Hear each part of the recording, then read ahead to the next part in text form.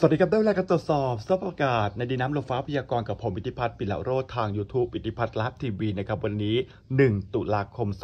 2564 ครับ ยังคงต้องเกาะติดสถานการณ์ อุทกภัยที่เกิดขึ้นในหลายจังหวัดของประเทศไทย โดยเฉพาะที่หนักๆเวลานี้ก็คือพื้นที่จังหวัดชัยภูมิ นครราชสีมา รวมถึงพื้นที่ทางอายุทยาอ่างทองชัยนาทนะครับที่ลุ่มน้ำเจ้าพระยาณเวลานี้ครับกำลังได้รับผลกระทบจากการระบายน้ำเหนือครับ เช่นเดียวกับทางกรุงเทพมหานครนะครับที่ออกมาประกาศแจ้งเตือน 11 ชุมชน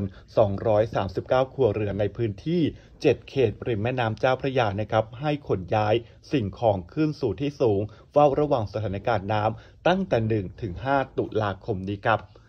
ไปดูประกาศเตือนของกรุงเทพมหานคร โดยพลตรวจเอกอัศวินขวัญเบืองผู้ราชการกรุงเทพมหานคร บอกนะครับว่าตั้งแต่ช่วง 28 กันยายน จนถึง 2 ตุลาคมนะครับ กรมอุตุนิยมวิทยาพยากรณ์นะครับว่า ร่องฝนนั้นก็จะลงมาพาดผ่านบริเวณของพื้นที่ทางด้าน ภาคกลางตอนล่าง ภาคใต้ตอนบนครับร่องฝนพัดผ่านอยู่ที่ไหนนะครับอย่างที่บอกก็คือว่าจะทำให้เกิดฝนตกหนักครับซึ่งก็เป็นไปตามฤดูกาลนะครับที่ตอนนี้เนี่ยร่องฝนมันขยับลงมานะครับแล้วมันก็จะแช่อยู่ในลักษณะของการทำให้เกิดฝนครับแต่ว่าในช่วงนี้เนี่ยฝนยังมีไม่มาก แต่ว่ามีโอกาสที่จะเกิดฝนได้หลังจากนี้นะครับ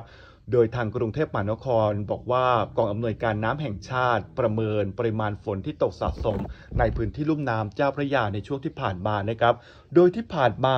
ทางลุ่มเจ้าพระยาตอนบนไม่ว่าจะเป็นป่าสักนะครับคาดการว่าจะมีน้ำหลากมาจากพื้นที่ของตอนบน ลุ่มน้ำเจ้าพระยาครับ และก็จะไหลลงเขื่อนเจ้าพระยาเพิ่มมากขึ้นอย่างต่อเนื่อง พื่อเป็นการเตรียมพร้อมรับมือกับสถานการณ์ กรุงเทพมหานครเลยตรวจสอบความแข็งแรง และจุดรั่วซึมของแนวป้องกันน้ำท่วม ริมแม่น้ำเจ้าพระยานะครับ ตอนนี้เรียงกระสอบทรายในพื้นที่ที่ไม่มีแนวคันป้องกันน้ำถาวรนะครับ แล้วก็บริเวณแนวป้องกันที่มีระดับต่ำครับ ตรวจสอบความพร้อมของสถานีสูบน้ำริมแม่น้ำเจ้าพระยา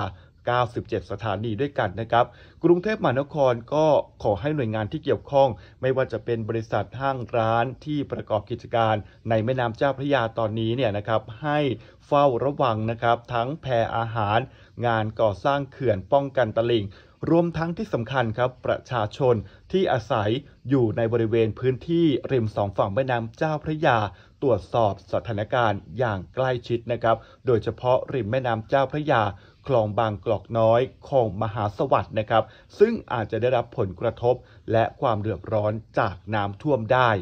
มาดูพื้นที่ 7 เขตนะครับ 11 ชุมชนนะครับ ไม่ว่าจะเป็น เขตดุสิตพระนคร สัมพันธวงศ์บางคอแหลมยานาวา บางกอกน้อยครับแล้วก็เขตคลองสารครับตอนนี้ให้เตรียมขนย้ายสิ่งของขึ้นสู่ที่สูงไว้เลยนะครับ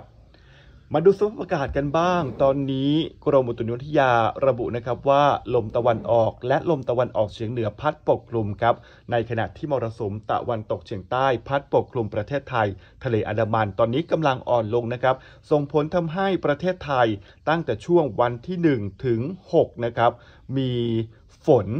น้อยลงอยู่นะครับแต่ว่าในช่วงหลังจากนี้ร่องมรสุมอ่อนกำลังจะลงมาพาดผ่าน ภาคเหนือตอนกลาง ภาคกลาง ภาคตะวันออก และก็พื้นที่ภาคอีสานตอนล่าง ประกอบกับมรสุมตะวันตกเฉียงใต้ลมประจำฤดูฝนในทะเลอันดามันนะครับ ก็จะมีกำลังแรงขึ้นทำให้บริเวณประเทศไทย จะกลับมามีฝนเพิ่มขึ้นอีกครั้งหนึ่งนะครับ ก็ตั้งแต่วันที่ 2 ตุลาคมเป็นต้นไป แต่ก็ยังโชคดีนะครับที่ยังไม่มีฝนหนักเข้ามาในช่วงนี้ครับก็มีฝนกระจายในพื้นที่ตามแนวร่องมรสุมมานะครับ ส่วนเรื่องของสถานการณ์พายุนั้นคุณผู้ชมต้องติดตามนะครับ เพราะว่าในช่วงใกล้ๆสัปดาห์ที่ 2 ของเดือนตุลาคมมีโอกาสที่เราอาจจะเผชิญย่อมความกดอากาศตามกำลังแรงที่จะทวีความรุนแรงกลายเป็นพายุในช่วงวันที่ 9 วันที่ 10 นะครับ ซึ่งผมจะมาอัปเดตในคลิปต่อไปนะครับสำหรับพื้นที่การเกิดฝนวันนี้ก็ตามแผนที่เลยนะครับ พื้นที่ที่จะเกิดฝนส่วนใหญ่นั้นก็จะเป็น ภาคใต้ทางด้านฝั่งตะวันตกนะครับ ไม่ว่าจะเป็นพังงากระบี่นครศรีธรรมราชตรัง พัทลุงสตูล สงขลาปัตตานี ยะลานราธิวาสพื้นที่เหล่านี้ เป็นพื้นที่ที่จะมีฝนตกหนักนะครับ ไม่ได้หนักมากครับเป็นระดับสีเหลืองนะครับ ส่วนภาคเหนือครับฝน 40%ครับภาคอีสาน 30%ภาคกลาง 30%กรุงเทพมหานคร 30%ครับส่วนภาคตะวันออก 40 นะครับ แล้วก็พื้นที่ภาคใต้ทั้งสองฝั่ง ร้อยละ 40 ของพื้นที่ครับ อัปเดตเท่านี้ก่อนนะครับ และคลิปต่อไปครับ เราจะมาติดตามเรื่องของสถานการณ์พายุกันครับ